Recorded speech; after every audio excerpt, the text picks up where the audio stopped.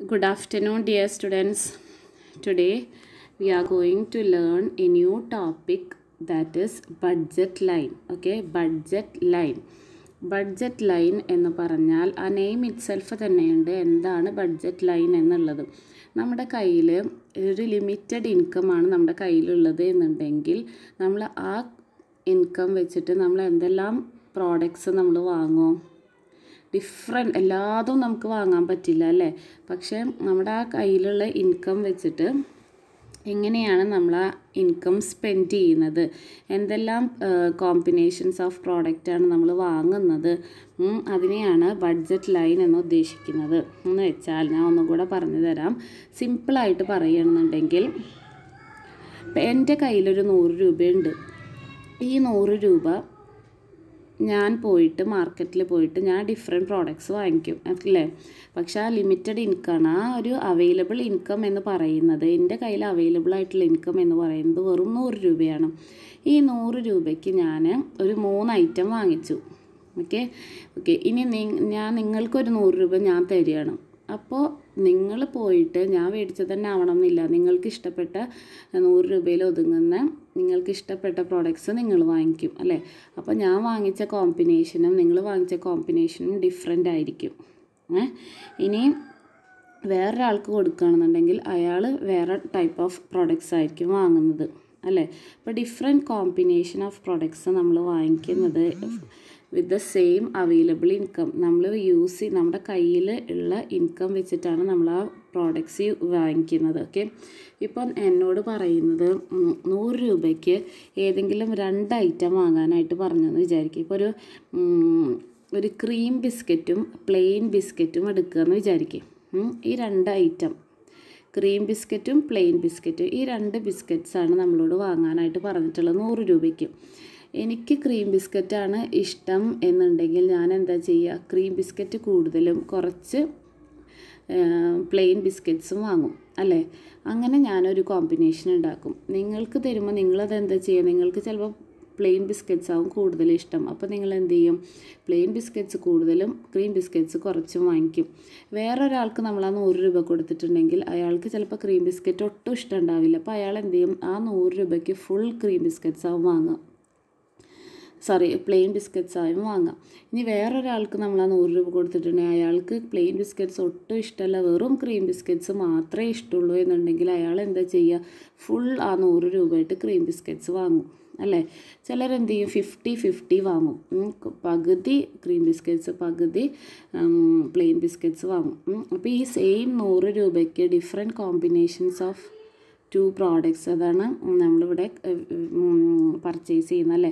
അപ്പോൾ ആ different combinations ആ കോമ്പിനേഷൻ നമ്മളൊരു പെർട്ടിക്കുലർ ആ ഫിക്സഡ് ആയിട്ടുള്ള ആ പ്രൈസ് നമ്മുടെ കയ്യിൽ അവൈലബിൾ ആയിട്ടുള്ള ഇൻകം കൊണ്ട് നമ്മൾ ഡിഫറെന്റ് കോമ്പിനേഷൻസ് അല്ലെങ്കിൽ ഡിഫറെന്റ് ക്വാണ്ടിറ്റീസ് നമ്മൾ പർച്ചേസ് ചെയ്യുന്നത് അല്ലേ?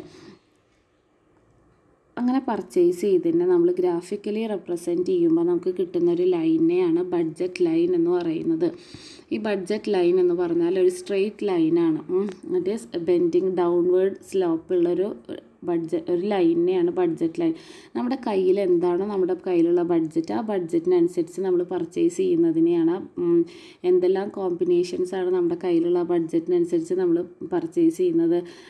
ആ കോമ്പിനേഷനെയാണ് ബഡ്ജറ്റ് ലൈൻ എന്ന് പറയുന്നത്. ഓക്കെ ഇതിൽ രണ്ട് ഫാക്ടറാണ് നമ്മൾ യൂസ് പഠിക്കാനുള്ളത്. ബഡ്ജറ്റ് ലൈനിൽ നമ്മൾ രണ്ട് എലമെന്റ്സ് നമ്മളിവിടെ കൺസിഡർ ചെയ്യണം. ഒന്ന് എന്ന് പറഞ്ഞാൽ നമ്മുടെ കയ്യിലുള്ള അവൈലബിൾ ആയിട്ടുള്ള ക്യാഷ് രണ്ടാമത് എന്ന് പറഞ്ഞാൽ ആ പ്രൊഡക്റ്റിന്റെ പ്രൈസും നമ്മുടെ കയ്യിലുള്ള ക്യാഷും ആ പ്രൊഡക്റ്റിന്റെ പ്രൈസും ഈ രണ്ട് ഫാക്ടേഴ്സാണ് നമ്മൾ ഈ ബഡ്ജറ്റ് ലൈനിൽ കൺസിഡർ ചെയ്യേണ്ടത്. ഓക്കെ ഇനി ഞാൻ ഞാൻ ആ പറഞ്ഞൊരു എക്സാമ്പിൾ വെച്ചിട്ട് നിങ്ങൾക്ക് ഒന്നും കൂടെ ഞാനത് എക്സ്പ്ലെയിൻ ചെയ്തുതരാം രാധ എന്ന് പറയുന്ന ഒരു കുട്ടിയുടെ കയ്യിൽ ഫിഫ്റ്റി റുപ്പീസാണുള്ളത് അപ്പോൾ ഇയാൾക്ക് ഈ രാധ എന്ന് പറയുന്ന കുട്ടിക്ക് ഫിഫ്റ്റി റുപ്പീസാണ് ഇയാളുടെ കയ്യിലുള്ളത്. ഈ ഫിഫ്റ്റി റുപ്പീസ് വെച്ചിട്ട് ഇവർക്ക് എന്ത് ചെയ്യണം? മാക്സിമം സാറ്റിസ്ഫാക്ഷൻ അല്ലെങ്കിൽ മാക്സിമം യൂട്ടിലിറ്റി കിട്ടുന്ന കോമ്പിനേഷൻസ് ഉണ്ടാക്കണം. ഓക്കെ ഇപ്പോൾ നോക്കിയേ എ കോമ്പിനേഷനിൽ എന്ത് ചെയ്തു? ക്രീം ബിസ്ക്കറ്റിന് ഒരു പാക്കിന് ടെൻ റുപ്പീസാണ് പ്ലെയിൻ ബിസ്ക്കറ്റിന് ഒരു പാക്കിന് ഫൈവ് റുപ്പീസാണ് ഓക്കെ അപ്പോൾ ടെൻ റുപ്പീസിന്റെ ഒരു പാക്ക് വാങ്ങില്ല പകരം അഞ്ച് രൂപയുടെ പത്ത് പാക്കറ്റ് വാങ്ങി. അപ്പോൾ എത്രയായി അമ്പത് രൂപയായി ബഡ്ജറ്റ് അലോക്കേഷൻ അമ്പത്. ഇനി നോക്കിയാൽ രണ്ടാമത്തെ ബി കോമ്പിനേഷൻ നോക്കുക. ക്രീം ബിസ്ക്കറ്റ് വൺ പാക്ക് വാങ്ങിയപ്പോൾ പത്ത് രൂപ പോയി. ഓക്കെ ബാക്കി അഞ്ച് രൂപയുടെ എട്ട് പാക്കറ്റ് വാങ്ങിയപ്പോൾ നാൽപ്പത് രൂപ അപ്പോഴും അമ്പത് രൂപയ്ക്ക് വാങ്ങി. സി കോമ്പിനേഷൻ നോക്കുക. പത്ത് രൂപയുടെ ക്രീം ബിസ്ക്കറ്റ് രണ്ട് പാക്കറ്റ് വാങ്ങിയപ്പോൾ ഇരുപത് രൂപയായി അല്ലേ? ഇനി പ്ലെയിൻ ബിസ്ക്കറ്റ് അഞ്ച് രൂപയുടെ ആറെണ്ണം വാങ്ങിയപ്പോൾ തേർട്ടി റുപ്പീസ് അപ്പോൾ ടോട്ടൽ ഫിഫ്റ്റി റുപ്പീസ് ഓക്കെ അങ്ങനെ ടോട്ടൽ ഫിഫ്റ്റി വരുന്ന ഡിഫറെന്റ് കോമ്പിനേഷൻസ് നമ്മളിവിടെ കണ്ടു. A B C D E and F ഈ അഞ്ച് കോമ്പിനേഷൻസ് ആണ് നമുക്ക് ഈ ഒരു ഫിഫ്റ്റി റുപ്പീസ് കൊണ്ട് കുട്ടി വാങ്ങുന്നത്. ഇതിനെ നമ്മൾ ഗ്രാഫിക്കലി നമ്മൾ റെപ്രസെന്റ് ചെയ്യണം. ഗ്രാഫിക്കലി റെപ്രസെന്റ് ചെയ്യുമ്പോൾ ഇവിടെ പ്ലെയിൻ ബിസ്ക്കറ്റ്സും എക്സ് ആക്സിസിൽ പ്ലെയിൻ ബിസ്ക്കറ്റ് വൈ ആക്സിസിൽ ക്രീം ബിസ്ക്കറ്റ്സും ആണെന്നുണ്ടെങ്കിൽ നമ്മളിവിടെ അതിനെ പ്ലോട്ട് ചെയ്യുമ്പോൾ നമുക്ക് ഓരോ കോമ്പിനേഷൻ എ എന്ന് പറയുന്ന കോമ്പിനേഷൻ നോക്കുക എ എന്ന് പറയുന്നത് cream biscuit zero plain biscuit ten അപ്പോൾ നമ്മളത് ഗ്രാഫിക്കലി എ എന്ന് പറയുന്ന കോമ്പിനേഷൻ സീറോ ടെൻ ടെന്നിൽ അവിടെ പോയിന്റ് ഇട്ടു. ടെൻ അവിടെ എ ഇട്ടു. ഇനി അടുത്ത കോമ്പിനേഷൻ നോക്കുക ബി ബി എന്ന് പറയുന്ന combination cream biscuit one plain biscuit eight അപ്പോൾ വൺ ആൻഡ് എയ്റ്റ് ഇപ്പോൾ വണ്ണിൽ എയ്റ്റ് മാർക്ക് ചെയ്തു. ബി അങ്ങനെ സി ഡി അങ്ങനെ നമ്മൾ ഓരോ കോമ്പിനേഷൻസ് മാർക്ക് ചെയ്തപ്പോൾ നമുക്കൊരു സ്ട്രെയിറ്റ് ലൈൻ കിട്ടി. ഡൗൺവേർഡ് സ്ലോപ്പ് ചെയ്യുന്ന ഒരു സ്ട്രെയിറ്റ് ലൈൻ കിട്ടി അല്ലേ? ഈ ഒരു ലൈനെയാണ് ബഡ്ജറ്റ് ലൈൻ എന്ന് പറയുന്നത്. ഓക്കെ ഇനി ഫീച്ചേഴ്സ് ഓഫ് ബഡ്ജറ്റ് ലൈൻ എന്ന് പറയുന്നത് നെഗറ്റീവ് സ്ലോപ്പാണ് എന്ന് വെച്ചാൽ ഡൗൺവേർഡ് ആണ്. റിവേഴ്സ് കോറിലേഷനാണ് ഇത് ഇൻഡിക്കേറ്റ് ചെയ്യുന്നത്. രണ്ടാമത്തേത് ഒരു സ്ട്രെയിറ്റ് ലൈനാണ് ഇത് വളഞ്ഞിട്ടൊക്കെ താഴ്ന്ന് വളഞ്ഞ് അങ്ങനെ പോകുന്ന ഒരു ലൈനല്ല അതൊരു സ്ട്രെയിറ്റ് ലൈനായിരിക്കും ഉണ്ടായിരിക്കാം.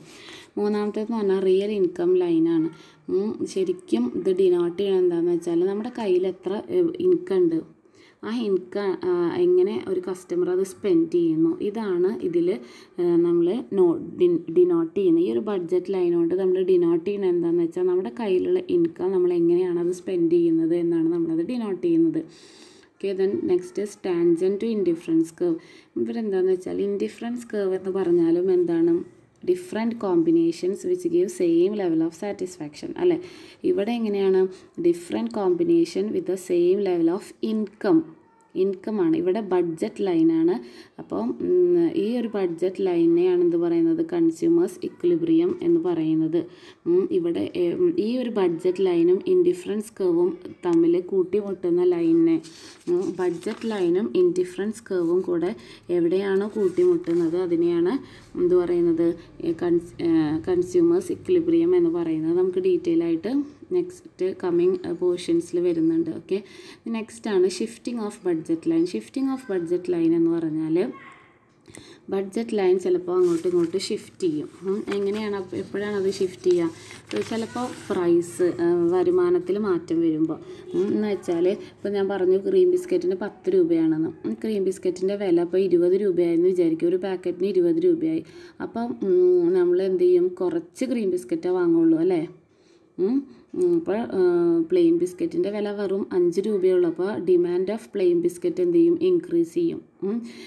അപ്പോൾ പ്രൊഡക്റ്റിന്റെ പ്രൈസിൽ വേരിയേഷൻസ് വരുമ്പോൾ നമ്മുടെ ബഡ്ജറ്റ് ലൈനിലും വേരിയേഷൻ വരും. ഓക്കെ ഇനി അടുത്തത് ചേഞ്ച് ഇൻ ഇൻകം ഷിഫ്റ്റ് അപ്പോഴാണ് ബഡ്ജറ്റ് ലൈൻ ഷിഫ്റ്റ് ആവുന്നത്.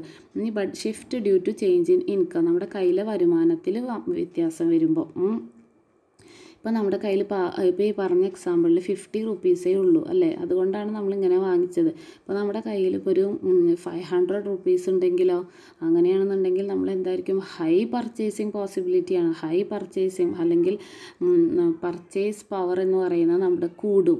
അല്ലേ? പക്ഷെ ലോ ഇൻകം ആണുള്ളത് എന്നുണ്ടെങ്കിൽ പർച്ചേസ് പവർ കുറയും. അപ്പോഴും ബഡ്ജറ്റ് ലൈന് ഷിഫ്റ്റ് ചെയ്യും. ഓക്കെ അപ്പോൾ രണ്ട് കേസിലാണ് ബഡ്ജറ്റ് ലൈൻ ഷിഫ്റ്റ് ചെയ്യുന്നത്. ഒന്ന് ചേഞ്ച് ഇൻ പ്രൈസ് രണ്ടാമത്തത് ചേഞ്ച് ഇൻ ഇൻകം ഓക്കെ ഇതാണ് today's topic hope you all understand the topic okay thank you